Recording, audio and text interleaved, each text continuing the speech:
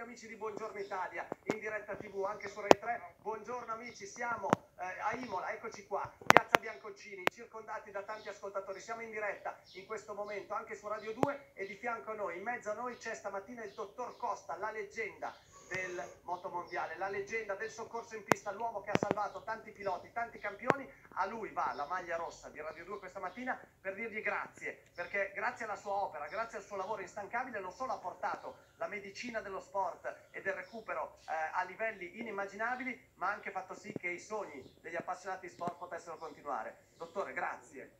Ah, grazie, è una bellissima maglia, il colore rosso, rosso come la passione, rosso come il cuore in questo caso il cuore è tutto di quelli che vi ascoltano, perché voi con le vostre parole eh, portate quello che è, diciamo così, un, eh, un, po' di felicità, un po' di distrazione da questo mondo che è un po' complicato, devo dire. Lei è veramente un poeta. Dottore Ardemagni, eh, la, la, frase di rito per la consegna della maglia di oggi? Beh, caro dottor Costa, noi le consegniamo questa maglia per il lavoro indefesso di sicurezza in pista e di soccorso agli, ai motociclisti in tutti questi anni. Grazie davvero da parte di Radio 2 e della RAI. Io, io vi ringrazio, ma lui ho sentito prima che sta cercando di fare vincere una palma d'oro, credo a un film. Anche, sì, sì. Beh, allora vi dico due cose.